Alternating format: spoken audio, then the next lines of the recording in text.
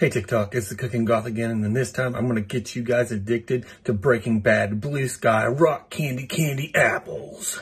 I got the recipe from delish.com, but this is kind of my recipe too because it's Breaking Bad. One pack of official Breaking Bad Blue Sky Rock Candy, cooking spray, parchment paper, a baking sheet, three or four Granny Smith apples, lollipop sticks.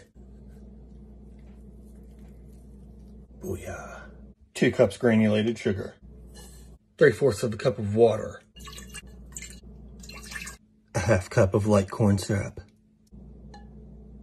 A little bit of royal blue food coloring. Just a little bit. A candy thermometer. A pan. Boil and stir until it reaches 300 degrees. And once it reaches 300, quickly pour some of the rock candy in and then roll the apple around and then wait for it to cool. As you can see, I got a little bit too much on mine.